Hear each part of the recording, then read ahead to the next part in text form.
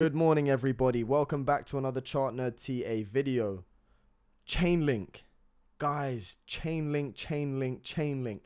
Do we have a potential here to form our bottom structure if this low continues to hold and we keep adhering to this ascending support? Are we looking to retrace to $39? Does Chainlink have the potential? As a technology, 100%.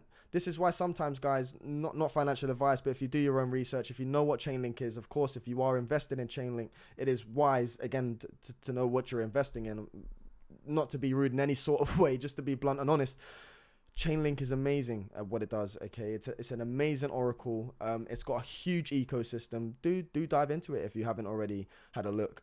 Okay, but the tech is amazing, and the, and the price isn't reflecting very well on the tech right now, as for many other projects in crypto. And I do think easily Chainlink. I, I, I think with ease it would be able to get back to this all uh, to, to to the all time highs and, and back up to these sort of prices. But for us to see that, we have a journey ahead of us. We have a long journey. There's many levels of resistance to get back above, and potentially this little cluster right here is the start. Now, let me explain why the lows potentially are in here for us and, and what we're looking to do to move forward. So as you can see from this level here, okay, Chainlink basically retraced back down to uh, on the weekly to, to previous highs back in March 2020, okay, and, and it's starting to bounce off of that. Now, zooming into this point again, okay, from this point of this correction, okay, I do think you had five impulsive waves up to this point, uh, and from this area, you've had this large A, B, C correction, okay, and a regular A, B, C. Uh, at this point, we topped out, we put in lower highs, okay, we, we failed to break through resistance, put in that B wave high, and since then, okay, you, you've basically just been under a strong level of resistance and have come back down for support. Now, the C wave potentially is over here, okay, the only scenario that would confirm it isn't is if we're going through something called a Elliott wave one, two, three, four, five situation where you've got this wave one down, you've got this wave two, you've got this large wave three. Right now you're forming a wave four. Potentially, if you came up to eleven dollars, for example, and we did see some sort of breakout and you got rejected, you would have to come back and lose this zero fib here. You would have to lose five dollars thirty, and you you're basically confirming that you're getting sort of one, two, three, four, five waves down, of which you know this five wave is just in a random point at the moment. But you would get rejection to a, to a certain area and be losing uh, the local lows. But to confirm that, we would have to lose this low. Okay, it's it's literally that simple. Right now, we're adhering to support. We've got ascending support, and things aren't looking too too too bad. Um, for, for, for some sort of foundational structural bottom here okay? Because we've been here for a while you know we've been holding support and the support has been lovely. You can see from this area here um, Chainlink's come down to this level okay? It's come back up to the 050 okay? And this is strong resistance right now. So nine dollars 86 is where resistance is is key okay? Which we need to break above uh, moving forward. But you, you, you, you're meeting that coming down. You formed a higher low here, and right now you've come up, you've ran into resistance, you came back down, and you're looking to break out. So if we start to see Chainlink, um, potentially, I think we're on our way back to that $9.80 area. If you start to see Chainlink break out of this resistance here and, and close above this level today, let me zoom in a little bit here. Uh, if you start to see Chainlink close above, I think it's $8. Um, potentially, we're looking at a, a retest as I've said, of that $9.86 because you've got this uh, level of support, you've ran into resistance, you've come back, you've got a higher level of support. If you start to tackle above these closes at $8 uh, and closing above that today, which is kind of bang on where we are now. If we do see the close above that, you are confirming and holding support, you are confirming that you are looking to retest this 050 and these local highs, which are our key resistance uh, here for Chainlink moving forward. But it's all about closing above this level today. It's all about closing above this level. So let me show you why it's important because right now we're we've we formed this low. Okay, we're going from that low. We're retracing back up to this high, and you can see that currently speaking, uh, th this eight dollars area, okay, right here, which we're currently hitting right now, is the zero six one eight. Okay, and that's from this low, retracing back to this high.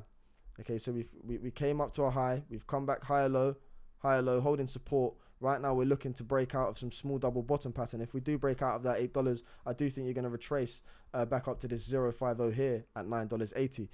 Um, so, you know, this is basically the start of the journey where you're coiling up in this sort of ascending triangle. You're holding higher levels of support. If you start to break out of this $9.80, Okay, you've got long targets. Okay, and and basically how you measure that would be from the 050 down to the level of support of the ascending triangle. When you break out, if you do break out, it confirms. Okay, that all you've done is met resistance here. You've come back. Right now, you're coiling up. Okay, and if you do start to break out, you're looking to retrace back up to this high. Okay, of which you fell from, which sits at eighteen dollars.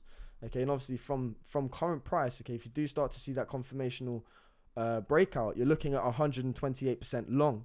And that's just to the one fib. That's just to the one fib, okay? And this is the bullish scenario. So if you start to break out of this ascending triangle, things are looking really, really bullish here for, for Link moving forward. Um, and, and you are looking to basically confirm that really and truly this is a low. You're coming up as long as you can come back and hold support you, and, and, and break out of this one fib here, you're basically confirming that you, are flipping the switch and the lows are in here. And this is this is the yeah the bear market lows where you, you it's, it's, maximum opportunity. And as I've said in many videos, fear never feels like that. It, it never feels genuine. It, it, always feels like it's going behind your back and trying to make you disbelieve that you know that the prices are gonna aren't gonna go higher and they're gonna go lower. But again, you just have to adhere to data and structure. Right now, you're putting in higher lows along this ascending level of support, and, and you've got key resistance above, yes, okay, but you're working beautifully, okay, in waveform, beautifully. It could coil up for, for another couple of weeks before it wants to break out. It could literally be stuck between support and resistance. Now that's an area, that's another thing I wanted to get into, okay, because you've got quite a few areas of resistance. Potentially, if you do fail to close above eight dollars and you come back, just look for a retest of support on this on this daily ascending trend line okay? Because that would have to it, it, needs to hold. If that doesn't hold okay and you start to lose this trend line that we're holding here okay and you start to lose this trend line it's very negative. Because what you would be doing okay what you're doing is coming up okay if you come down fail to break out and you lose the trend line turn it to resistance you're just going to retrace back down to the, the, the lows that you've came from okay at five dollars 30 now the negative side to this okay if we was to do something like that how you'd measure it, okay, and, and where potentially we would fall to for that fifth wave I was talking about earlier. If this isn't an ABC and it's an Elliott wave theory, what you could say here is that we've got this high, okay, we're retracing to this low right now. We've come down to the 050. You can see, look, we're holding the 050 and the 0618 here on this retracement back down to this low. We're holding it, holding it um, beautifully, and we're just adhering to it with, with higher lows, okay. But if you was to start um, running into resistance here, failing to break out and losing these golden ratios, these areas here, I would look for the retest back down to, to five dollars. Okay, back down to five dollars. Um, and if that didn't hold and you hit your head on that, for me potentially that fifth wave could take you down to three dollars sixty eight. Um, of which ties up with this low here. Uh, I'm pretty sure, which is the yeah the one six one eight would tie up with that low. And all you'd have done is you've you've come up here Okay, you had resistance at this point, you've broken out, and you, you've basically starting this retracement wave all the way back down to that area of support. Okay, looking for a bounce there. At that point, if, if the markets did roll over, I do think that could potentially be Chainlink's ultimate low because around this area is, as I've said, I think this is the yeah the the 1920 mark for for for for Chainlink, which it was struggling to break out of. You can see that was key resistance, so it wouldn't surprise me if you was to roll over to that if the market continued to the downside and then you put in your low. But right now, that's not happening. It's not. It's not. The data is not telling us that that that's in front of us. Okay, right now we're adhering to to positive market structure. We're holding ascending support, which is bullish. You're putting in higher lows. You're coiling up in some large ascending triangle. If you do get the breakout, again, you're, you're, running, you're looking to run back into to higher levels of resistance.